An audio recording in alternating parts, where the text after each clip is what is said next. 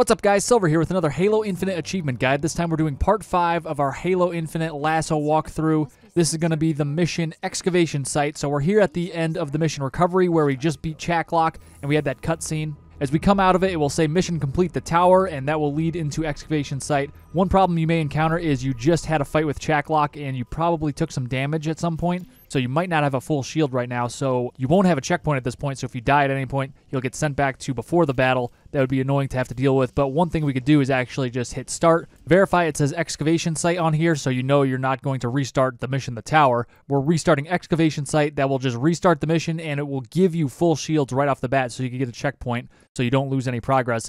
And there's another benefit to this as well. Even if you didn't take any damage and you did get a checkpoint, you should still do this because this will actually take you across the bridge that you normally have to fight your way across. There's a bunch of enemies on the other side of the bridge and you have to kind of deal with them as you go across. But this way, you actually spawn on the other side of the bridge, and there's a few enemies over there, but not nearly as many as there would be if you had to actually just walk across yourself manually. So immediately when you spawn in, you want to turn to the right and grapple out of the middle of the road, and then climb up this wall over here, and you will safely be able to get up and onto this area. We're going to sprint ahead. There is a fob right ahead there, but we're not going to go there. We're going to go down to this road, and there's always vehicles, or one vehicle, I should say, on this roadway. So right now it's a Razorback. The other potential vehicles that could be on this road somewhere is a Ghost, a normal Warthog that has a chain gun on the back, or a Mongoose. So I cut to another uh, version here where I got a Mongoose randomly instead of a Razorback, and you're just going to have to take my word for it that you could get a Ghost or a normal Warthog because I was not recording when I got those two options. So it doesn't matter which vehicle you get, they're all going to work uh, for our purposes, which is just getting from point A to point B. And I'm just kind of slowly tracing the path I'm going to take along these roadways on the map to get to where we need to go. We basically want to go to the road right about here to the southeast of excavation site. And you could put the excavation site on your uh, map. You can't actually see the nav points when you mark a nav point on here, but you could actually see the giant beam of light coming down from the sky to where you want to go. So you could add that if you want. I didn't end up doing that here, but we'll uh, get going on this path here now. As we go along this path, we're going to take a left right about here, and then we're going to take a quick right and then we're going to drift to the left once we have to turn again. And you're going to find that there's some enemies that I'm seeing in my playthrough here that you may not see. There might be some uh, minor tweaks between the enemies that spawn in for me and the enemies that spawn in for you. Like there's grunts to my side there. Those might be jackals for you. But as we approach the courier squad distress signal, we're just going to turn to the left. And I go off the path on this part, actually. So instead of going straight, I turn into the trees here. And uh, I'll take this path instead because there's generally a bunch of enemies uh, in that intersection that we were heading towards. So I just cut that part off the uh, the pathway. We're going to take a right here, and then we'll go to left as the road curves.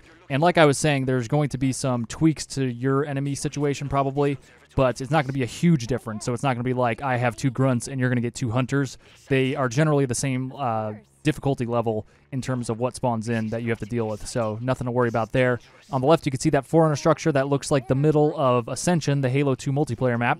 So we're going to turn to the right once we see that, and this is about where we want to ditch our ride. So we're going to bail about here, and then we're going to go the rest of the way on foot. So we're going to go up and over these uh, this rocky area here. If you have a ghost, it's easier to just kind of boost up and over these rocks. Uh, you could do that if you want, or you could even try to you know go over these rocks with the mongoose or any of the warthogs. But it is a little more difficult with that and I find it's just easier to just ditch the vehicle altogether, regardless of what I have, and just go on foot from this point on. You can see there was a jackal there, uh, but don't worry about him too much. Even if you do end up having a little bit of shield down at this point, it's okay. We're going to go down here, and you can see this is the excavation site. We want to go towards the left when we uh, approach this. You can see I'm throwing some grenades just to show you where to go. You can see there's a big outcropping uh, with a tree on the end of it. It's kind of a like a peninsula of land, uh, but it's not water that's surrounding it, so it's not really a peninsula. But you know what it is. You know what I'm talking about. Just head over there. There's a Spartan core on top here, which is what we're going after. You can see there's a couple of friendly Marines here as well to provide some support. We'll head up here to the Spartan core, open this up, and then we will go down and get the other Spartan core in this area. Stay away from the uh, hole in the wall to the right because that will trigger the cutscene. We don't want to trigger that yet. It wouldn't be the end of the world if you triggered that accidentally, but just don't do it. It would make things more uh, more annoying for us here. So we're just going to go into this building over here, which is where the second Spartan core in this area is. And uh, it's up in the top of this room here, which you can't really see right off the bat. There's some catwalks surrounding this uh, upper area of the room. You can find it up here. Open it up. I don't know why I got in that ghost. But now that uh, I have the Spartan Core, I will get in the Ghost just so I could speed over to the trigger to trigger that uh, that section in, that cutscene in, and then there will be some enemies that come in after we do that. So before I trigger this, I want to just kind of explain what we're going to do.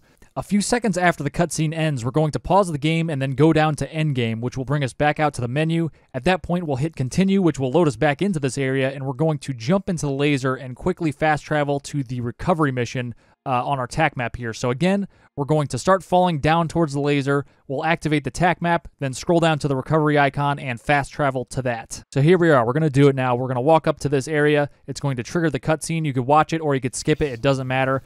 But once you gain control of your character again, you want to move around for a few seconds and then hit pause. Once you're in that menu, you want to scroll down to end game and then it will ask you if you're sure. You click OK. It will kick you back out to the lobby.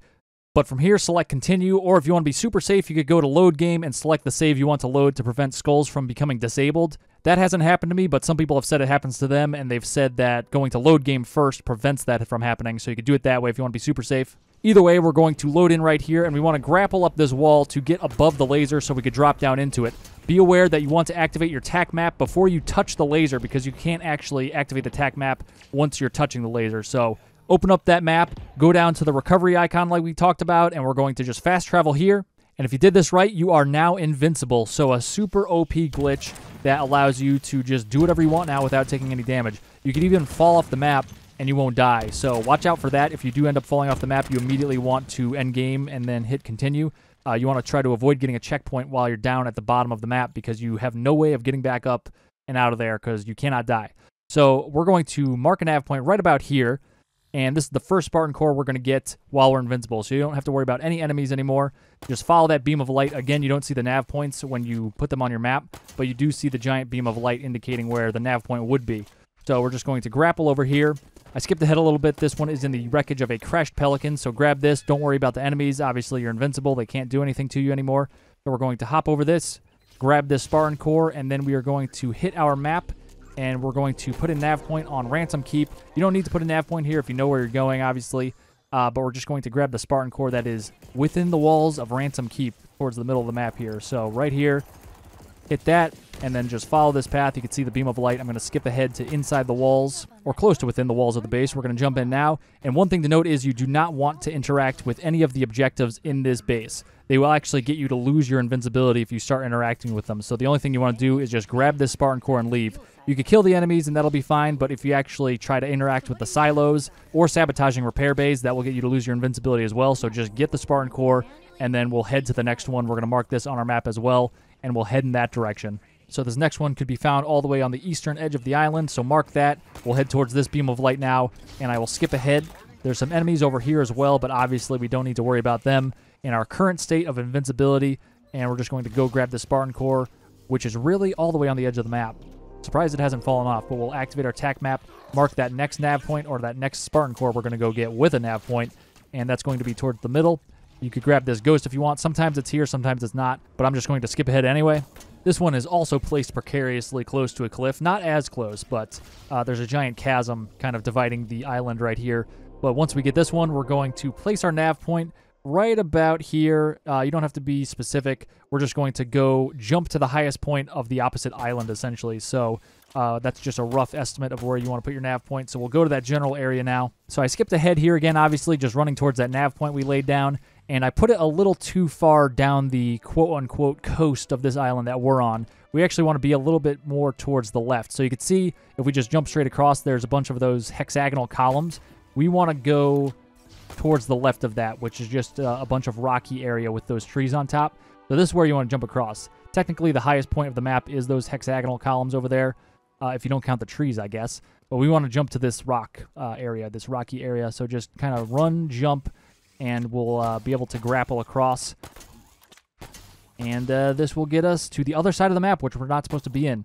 So congratulations, we've skipped a few missions of Halo Infinite's campaign, but we're not done yet. We're going to skip a few more missions. But before we do that, even, we are going to go down to Fob Hotel down at the bottom of this slope, and we are going to capture this. You could interact with fobs, fortunately, so you can't interact with some of the controls in the banished outposts, but you could interact with the fobs. So we're going to capture Hotel, and we're going to capture Kilo as well. So I'm just going to quickly skip ahead to fighting down at Fob Hotel, And when you're capturing these fobs, when you have invincibility, you just want to use your sword. That will ensure that you don't actually blast one of the enemies out of the area and then give you that annoying scenario where you have to leave and then come back after a few minutes. So this will just ensure you could easily kill all these enemies. And on top of that, you will get your shield back if at any point before you got invincibility, you took some damage and then never got your shield back due to the Black Eye Skull. So this will ensure you have a full shield, you start getting checkpoints again, and we will capture this fob. After this, we want to lay down a nav point at Annex Ridge because there's going to be another Spartan core in there we want to grab. So after capturing Fob Hotel, you immediately want to just keep heading straight in the direction you're looking right now. There's going to be a platform overlooking this giant chasm, and on that platform there's going to be a couple Banshees. So grab one of those and then fly across the chasm towards Annex Ridge. I guess that wasn't actually a platform. That was just a natural formation the Banshees were resting on. But anyway, we're going to throw the nav point down now and we're just going to basically fly straight up towards this area. You can see there's two buildings that are on the edge of the cliff there, and we're going to park our Banshee right in between there. That's a good safe spot to land. You don't want to take damage from the Banshee because it will blow up pretty easily, but even if it does, it doesn't matter. You will uh, survive, obviously, because you have invincibility. Just your Banshee will explode and not be useful anymore. So just go in the wall of the base here, and the Spartan Core is right on the side.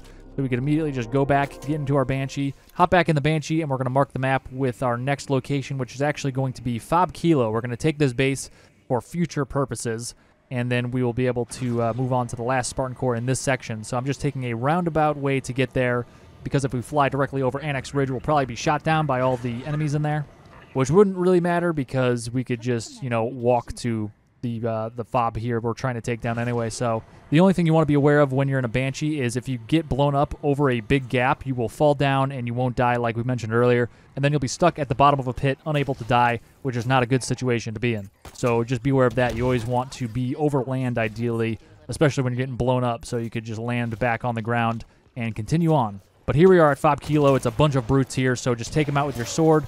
Don't use the tank gun because, again, we don't want to blast them away and then have to, you know, walk around for a few minutes waiting for the game to realize they're all gone.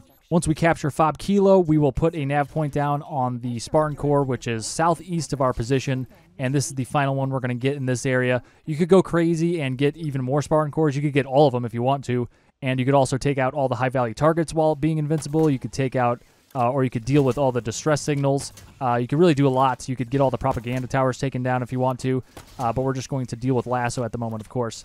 So we're just going to follow this uh, nav point towards this beacon, and you could start upgrading your equipment at any time, really. I've just been holding off. I've just been collecting them, but I'll spend some right now. What we want to do is upgrade our grapple shot almost all the way. We want to get the three out of four upgrades.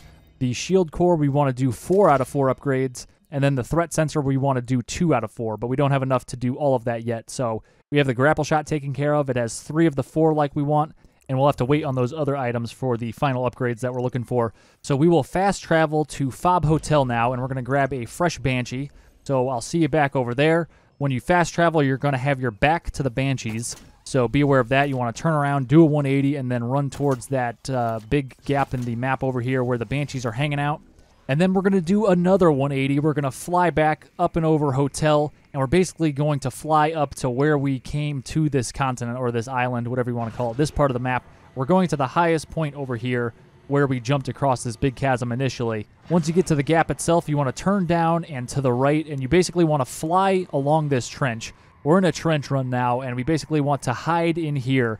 Uh, instead of flying over the land where we are vulnerable and could get easily shot down, we're just going to hide in the trench here. So we're just going to navigate to the Pelican down part of the campaign where your Pelican gets shot down by three anti-aircraft guns.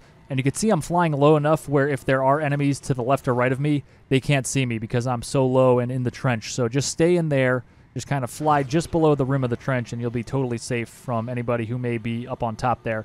So we'll just keep going. You can see the anti-aircraft gun on top of the big cliff in front of us now. We're going to drift to the right and go down into this watery area. And there's going to be a Spartan core to the left of the elevator that leads up to that anti-aircraft gun. So we'll just keep boosting in this direction. We are almost there. We'll turn into left after this big column right here. And there will be the elevator. And we're not going to go up the elevator or anything, but to the left of it is the Spartan core as promised. So hop out grab this one, and then we'll hop back into the uh, the Banshee here. We could have put a nav point down there, uh, but I did not think of that. I did not do it in that playthrough. We'll put a nav point in the middle of the map. that is where the boss fight with Hyperius and Tovarus occurs, and that's where you crash land uh, in general. That general area is where you crash land and start this uh, mission to begin with, and then you come back and finish it there too. But there is a Spartan core in the middle of the map here. We'll keep boosting in this direction, and it's on top of the wreckage that I'm looking at right here.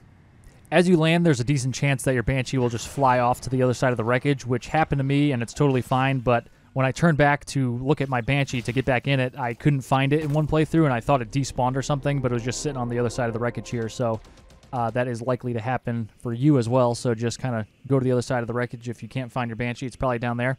But uh, we will put a nav point up here. You don't really need to put a nav point up here, but why not?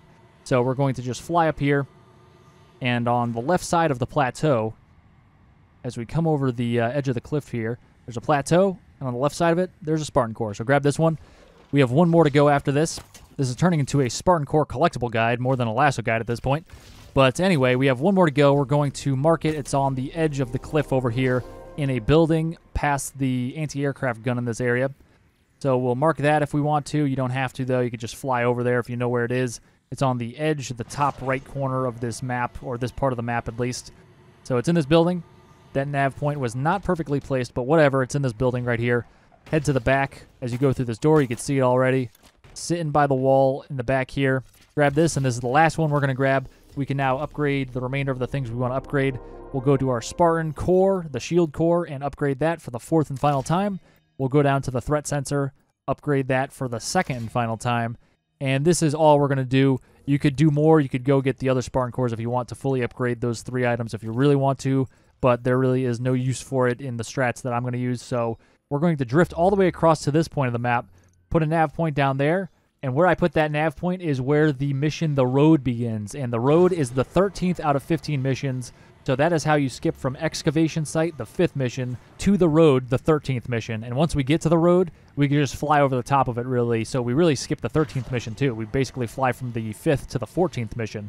And the reason we could fly over here is because we're invincible. So the kill barriers that would normally just blow up our Banshee as we try to fly across here, that doesn't work on us anymore. So we could just fly through those kill barriers and uh, just go to the 14th mission. Why not? So skipping ahead, you can see the lighting has changed a little bit, and that's because the open world has a dynamic lighting system, so it could go from day to night and then back to day again.